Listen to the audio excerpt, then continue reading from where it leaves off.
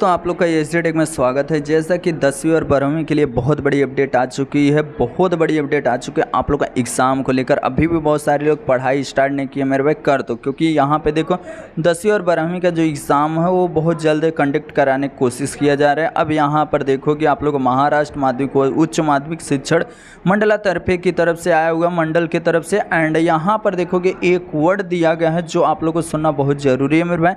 आठ से दस दिन, आठ से दस दिवस लौकर मतलब घृणात एणार आहे तो मतलब 10 से 8 से 10 दिन पहले आप लोग को एग्ज़ाम लेने के चांसेस इस साल बन रहे हैं। तो मेरे भाई, इससे क्या होने वाला है? आप लोग का जो भी एग्ज़ाम रहेगा ना मेरे भाई, यहाँ प्रीलियम एग्ज़ाम कुछ भी प्रैक्टिकल वो सब पहले लिया जाएगा। अब सोचो आप लोग के पास समय भी अब कम बच रहा है। एंड यहाँ पर देखोगे और नीचे आ जाओगे तो यहाँ पर जो बारहवीं का एग्ज़ाम है, देखो मेरे भाई, बारहवीं का एग्ज़ाम इक्कीस फरवरी से लेकर यहाँ पर आप लोग को दिया जा रहा है सत्रह, अठारह मार्च तक। अठारह मार्च तक आप लोग का एग्ज़ाम होने वाला है। एंड दसवीं का जो एग्ज़ाम होगा, लिखित परीक्षा, जो बोर्ड एग्ज़ाम है, वो यहाँ पर 21 फरवरी से लेकर सत्रह मार्च तक आप लोग का होने वाला अब सोचो, ये चीज़ अपडेट आई हुई है महाराष्ट्र बोर्ड की तरफ़ से, बट इस पर देखो, एक और चीज़ लिखा गया यहाँ पर।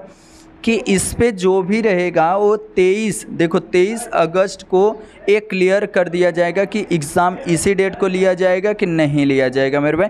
23 अगस्त को इस पर अच्छी तरीके से बातचीत करके आप लोग को एकदम क्लियर कर दिया जाएगा। एंड उसके बाद आप लोग को एक ही वर्ड बोलूँगा कि अभी तक अगर आप लोग नहीं पढ़ाई स्टार्ट किया मेरे भाई, पढ़ना स्टार्ट कर दो क्योंकि बहुत ही कम आप लोग के समय बचा हुआ है। देखोगे यहाँ पर भी लिखा गया है मेरे भाई, उसी तरीके से।